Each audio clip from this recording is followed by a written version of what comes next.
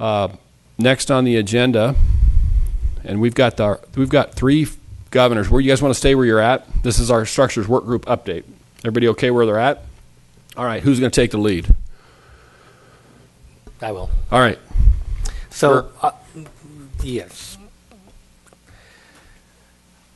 I'd like, in the interest of time, I know we're about a half an hour over now, and so um, what I think would be the most effective would be a quick update on the two meetings, not go over what we did before, um, provide those two meeting updates, and then I throw it back to, to Governor Abell or Governor Clark or Governor Swegle, and they can um, add detail um, and then ask for questions because I think that would be more most effective given the time that we've got. The uh, last time we met in Yakima, we gave an update on what we had done up until that point. We've had two meetings since that time, and they've been very interesting meetings. At the second to last meeting, we as a group decided that the structure as it currently sits is proper, probably the optimum structure for our bar, bar association, and there was no need to um, bifurcate or adopt a hybrid uh, governance system based on Fleck, based on Janus and the and the dental case and, and the uh, lawsuits that have been filed around the country. And we did that after much deliberation and consideration of experts and folks that were invited in to talk to us. And then we spent a considerable amount of time talking amongst ourselves um, of the work groups and, and, and figuring that out. That was the second to last meeting. At the end of that meeting, we also decided that perhaps a more robust Keller analysis, perhaps with an audit, um, perhaps with an opt in approach, would be something that uh, would give us a, uh, more security and something we should do anyway. Um, Keller is still the law of the land. Everybody is satisfied with that, but we wanted to make sure that um, we were doing things. If we're sure we're doing things right, but we might want to go further, be more conservative in our Keller approach. And so we left that meeting um, asking who should do that. And some people voiced opinion that it should be the bar association. Some people thought maybe it could be uh, an expert um, called in to address just that issue. Uh, some folks thought it should be the work structures work group, and we came out of it hesitantly for some, excited from others, that it would be the structures work group. And then we received an email from uh, Chief Justice Fairhurst after she had met with the Supreme Court en banc, and they uh, had the Supreme Court members had questions regarding whether that was outside of our charter. And so she asked us to reconsider that, and we did so at the first part of the, the last meeting. And we've decided not to go forward with that. And I wish um, Governor Grabicki was here right now because I'm sure he's going to have some comments on this. So we'll circle back to him in a minute when he comes back into the room. Um, we did entertain motions, and there were three motions that um, that well that passed. Um, one motion was to revisit the 2014 Governance Task Force report and see if there were issues within that Governance Task Force uh, report that could be implemented. There was a motion that passed uh, to confirm that we would not be bifurcating the Bar Association, that we would maintain the unified bar, and that there would be no hybrid um, consideration, at least from purposes of the uh, structures work group. And then the third motion, and that one passed as well. And then the third motion that passed was a motion to put two public members on the Board of Governors. And so that will be going to uh, the AOC to draft up in a report. It will come back to the structures work group for review, and then it will be sent to the Supreme Court. There's no more meetings planned right now for the structures work group. Um, and so that's where we sit. And again, I, I'm, the, the point that I think Governor Grabicki would be interested in is where, where does that leave us? Should we pick up the baton to take a look at the more robust Keller um, analysis. And maybe that's separate and apart from the structures work group, but I think it's worth some discussion and uh, deliberation regarding that. And speak of the devil, Governor Grabicki. I was going to say if we hurried, we could finish this before he got back. Uh, um, it, it, I'll let you, f- when you finish your comments, Kyle, let me know. and I'll be real brief, just to, to back up just a moment. Um, just gave a, um, a summary of what happened with the structures work group, and then I was getting into what can the bar association do. Go- Am still on? Going forward with regard to the Keller deduction, the opt-in uh, idea, whether the the task force that the bar association had prior to the structures work group should be reconvened. What kind of um, input should we have on making sure that our Keller approach is robust, perhaps involving an audit and whatnot? And and I mentioned you, Governor Grabicki, because I know you have an interest in that. But before we go back to you, I did want to throw it back to Governor Clark and Governor Swegle and Governor Abell for further detail or discussion on things that I might have missed. You're going to be a great president because you actually read my mind. So we'll start with Hunter if you have any gaps to fill in there for us.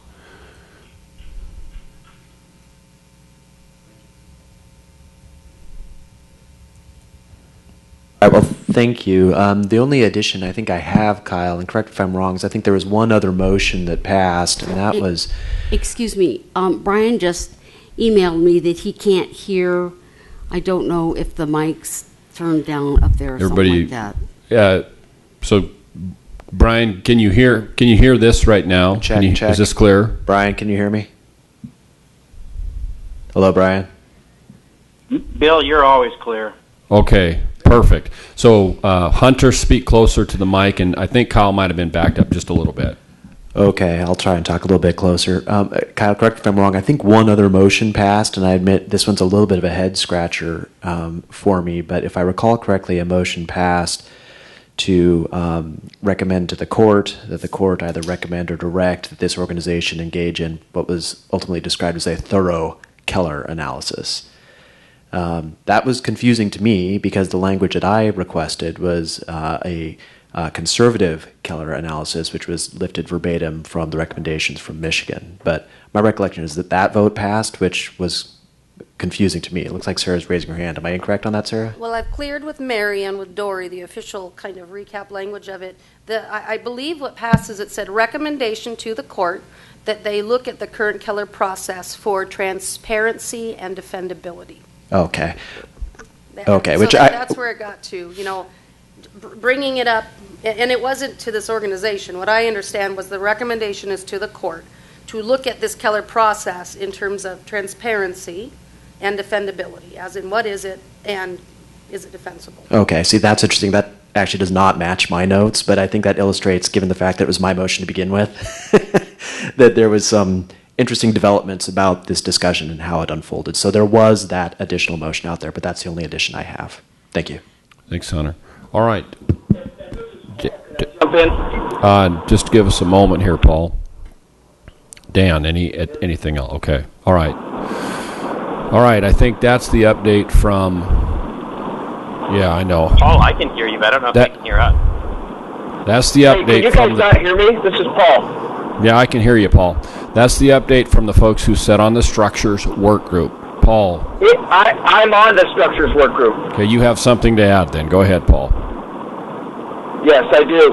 Um, Kyle, correct me if I'm wrong, but a few meetings ago, we also passed a motion that essentially said that the structures work group members believe that activities related to uh, access to justice and diversity and inclusion are essentially activities that promote the improvement of the practice of law and the administration of justice. Is that correct? That's that's absolutely correct. That was two or three meetings ago, where it was the first item of business, very important to most, if not all, of the folks on the work group.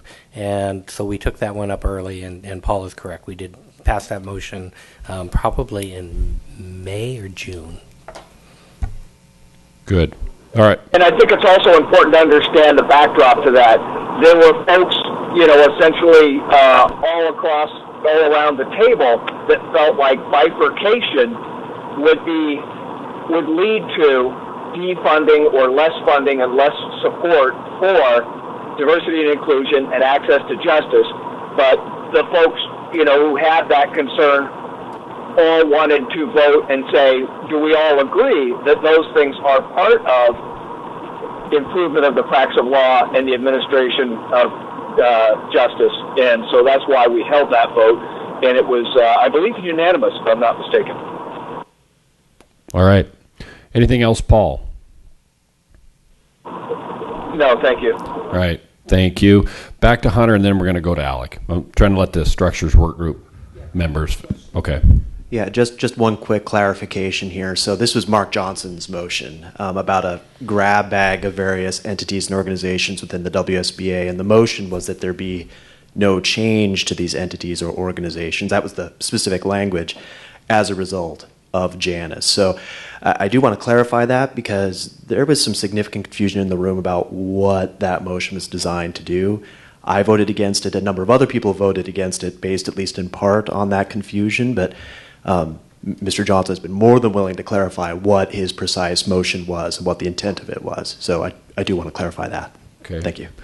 Very good. Okay. Now, Alec, you, you, question for the work group. Yeah, and I have my question before PJ because I just want to understand what you mean, uh, Kyle, or members of the work group, which is you use the term Keller opt in.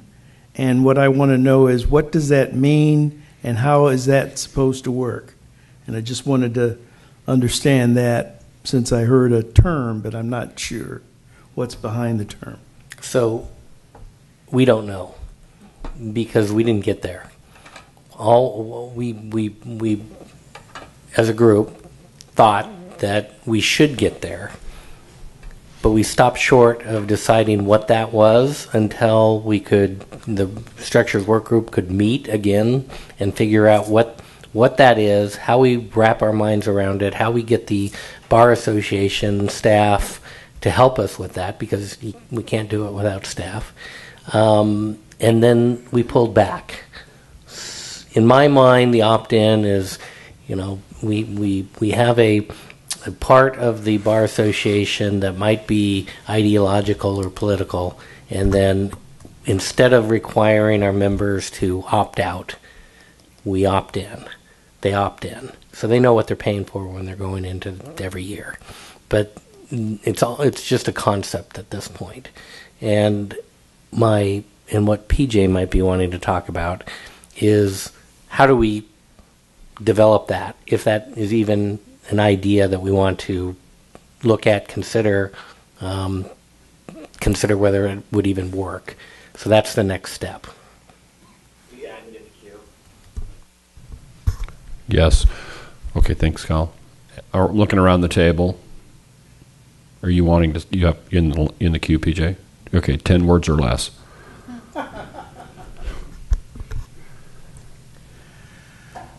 Um, as Kyle pointed out, the uh, structures work group um, didn't get to the, the meat of the problem.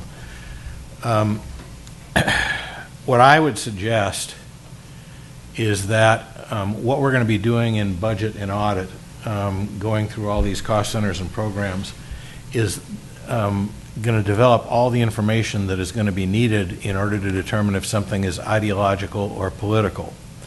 And therefore, if, if, if it were up to me, I would have that undertaken by that group, and if somebody who was on, who was on the structures work group from us is not in budget and audit, I would ask them to participate and maybe break those, those meetings out as a, as a special part of it. But I, I think that's the group that's going to be, going to have enough information and going to have the staff support to be able to do that. And then when we are able to define what we think is political or ideological activity that's offensive of Janus, then um, we bring that report back to this body and have see if this body will endorse that and accept that. And once we've got that determination that's been ratified by this body, then we um, uh, engage an outside public accounting firm with specialized expertise in cost segregation and cost accounting, and those are specializations in the accounting profession, to um, take what we've identified as political or ideological activity or speech and determine what the cost of that is, to come up with a Keller deduction that has been determined by these outside experts working with our staff. And that gives us um, a very defensible Keller deduction. Um, and it also gives us our expert testimony when we have our litigation over this, because we're going to get sued, if, and we may want to institute a dec action ourselves um, so that we can control the litigation. That's a decision for another day. Um, but, and then we would get. Will you to- add me to the queue, please? and then we would get to Kyle's Yes. um, a concept of, okay, at that point, we know that the real Keller cost is, let's say, $24.52. Um, Are you going to say to the lawyers on their little um, uh, license fee um, deal, um, check the box if you want to not pay that, or are we going to say you've got to opt in and agree to pay that? And that's, we we can have that discussion later, but um, that's another nuance to the entire thing. But uh, to me, that's how we ought to proceed, and we ought to start with that with the fall meeting, um, with fall meetings. All right. Wow, I can't wait for the till the fall meetings. Um, listen carefully. It's Alec and then Ethan, and I'm looking around the room for who and else wants in the queue because then we're moving on. Hunter. Okay, so Alec, Ethan, Hunter. So um, I want to make sure I understand what you said, but I want to make sure I understand it in the context of what I thought I heard reported regarding diversity, inclusion, and equity and access to justice. My concern being that if the structures work group has reaffirmed that those are essential functions of the bar.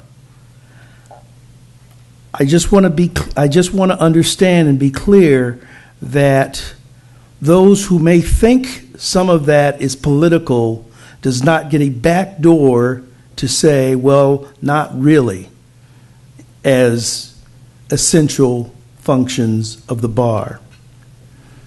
Number one, I think those are essential functions of the bar. Number two, I think we should um, absolutely embrace the determination and resolution that the structures work group um, came up with. Number three, I think those concepts are deeply embedded in GR 12.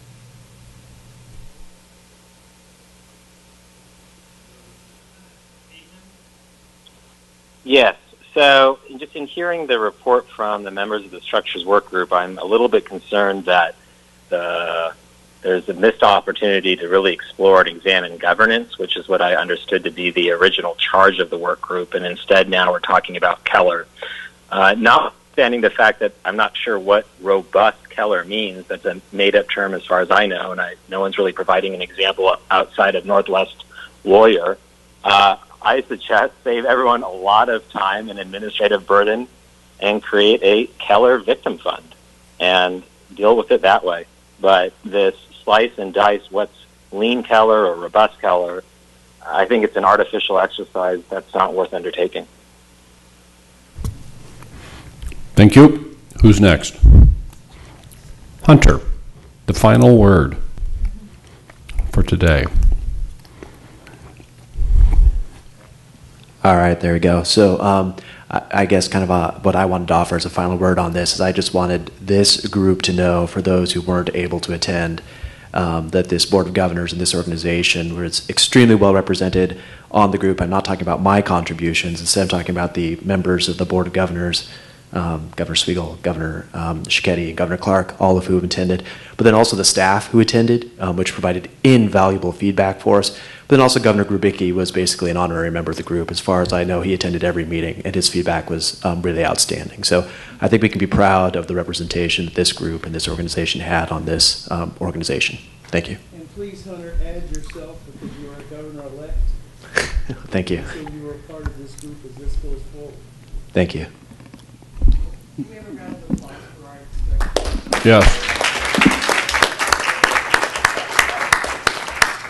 Thank you, Paul. Thank you very much.